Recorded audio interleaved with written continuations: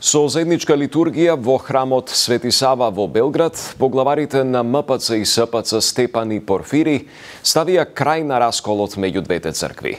Архиепископот Стефан и се заблагодари на СПЦ што ја поздрави одлуката на Вселенската патриаршија и најави дека очекува за брзо да се реши и конечниот статус на МПЦ ОА. Во Белград е Михајло Видимлиски, па Михајло, да чуеме како помина заедничката литургија и освен што заедничката литургија посетија голем број верници и нашата делегација од Македонија беше пречекана со биење на камбаните од страна на српските великодостојници така е Борче како што може во овој момент да се слушнат како бијат камбаните оде во храмот Свети Сава во Белград, така и утринава во 9 часот беа пречекани, беше пречекана македонската делегација по, по предводена од поглаварот на Македонската православна црква господин господин Стефан за одржување на оваа заедничка литургија за помирување. Српскиот партијар Порфири порача дека по 55 години е заздравена раната на длабоката рана на црковен раскол, а од друга страна пак Митро, поглаварот на МПЦ, господин господин Стефан, рече дека се надева оти во многу скоро време дека ќе доживееме и она радост со што ќе се реши македонското црковно прашање, односно постигнување на автокефалноста. Инаку литургијата започна утринава во 9 часот, траеше негде околу 2 часа. Голем број на верници присуствуваа овде во храмот Свети Сава во Белград. Господин господин Стефан исто така се заблагодари на Српската православна црква што кратко време по одлуката на Цариградската патријаршија на Саборот донесе одлука со која што прогласи црковно единство со Македонската православна црква Охридска архиепископија. Во продолжение можеме да слушаме дел од пораките кои што беа кажани по завршувањето на заедничката литургија за помирување. Браќо и сестре, дана кој створи Господ, jer evo čuda pred našim očima. Imali smo raskol koji je trajao 55 godina sa našom braćom iz Makedonije, i ta rana je bila duboka i bolela je. Tom ranom smo razmišljali s njom, legali i ustajali u iščekivanju i čežnji da se ona zasceli. Ali kao što ne postoji ništa što mi ljudi sami sobom i sebe možemo isceliti, tako i naročito rana na telu Hristovom ne može samo našim silama i moćima da bude isceljena.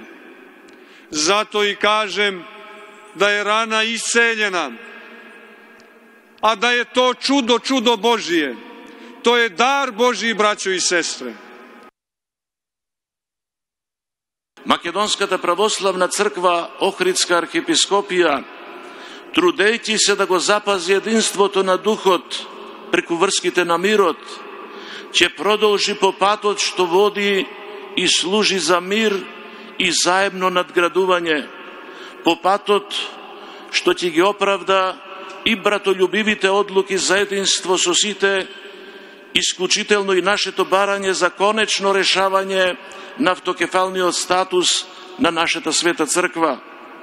Ние во Македонската православна црква Охридска архиепископија непоколебливо веруваме дека уште деновиве ќе доживееме полна радост, радост во Господа, со одлука од вас, ваша светост, заедно со браќата архиереи на Српската православна црква. Имено знаеме колку е добро да се слави Господ и да му се пее на името на Севишниот.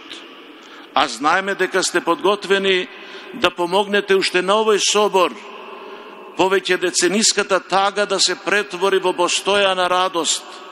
Радост во душите на свештенослужителите, на монаштвото и на верниот народ во Македонија. Микајло, споменавме и предходно, заедничката литургија содржа во присуство на бројни верници, па да чуеме како тие гледаат на помирувањето меѓу двете цркви. Заинтересираност голема имаше кај граѓаните, кај верниците овде за заедничката литургија на помирување помеѓу СПЦ и МПЦ. Голем број верници, храмот Свети Сава беше преполно и надвор пред самата црква остана голем број на верници. Со радост гледаат на оваа заедничка литургија, бидејќи, како што велат, по долго време очекување верниците од двете земји се сплотија. Да слушнеме што велат верници.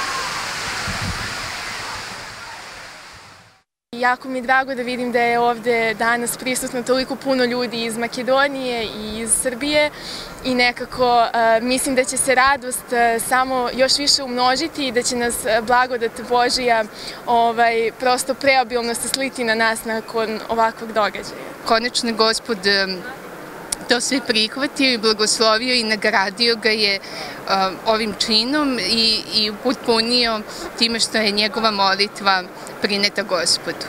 Veliki događaj za Srpsku pravoslavnu crkvu i za i uopšte za sve kanonske pomeste pravoslavne crkve, pogotovo za braću našu iz Makedonske pravoslavne crkve koje su nam se posle toliko dugog vremena raskola pridružila i jednostavno veliki događaj. Drago mi je što sam prisutovao ovako nečemu. Da mi živimo u Nemačkoj i sve pratimo šta se dešava i, i u Srbiji, i u, i Bosni, i u Makedoniji. I drago nam je, evo, danas je vaskrsenje za nas, pravoslavce. Така, воопшто само за крај да подсетиме што е она што и предходеше нова заедничка литургија за помирување, значи најправино 9 мај одлуката на Вселенската патриаршија на патриархот Вартоломеј, која прогласи за канонска Македонската православна црква, Охридска архиепископија, неколку дена подоцна, а, Српската православна црква одржа собор на кој што прифати канонско единство со Македонската православна црква, Охридска архиепископија. Очекувањата од синодот на МПЦ ОАС се дека СПЦ сега ќе го извести Селенскиот патриарх за прифатеното канонско единство и ќе побара автокефалност за Македонската православна црква. Студио. Михајло Видимриски во живо од Белград околу заедничката литургија на двете цркви ти благодарам за информациите.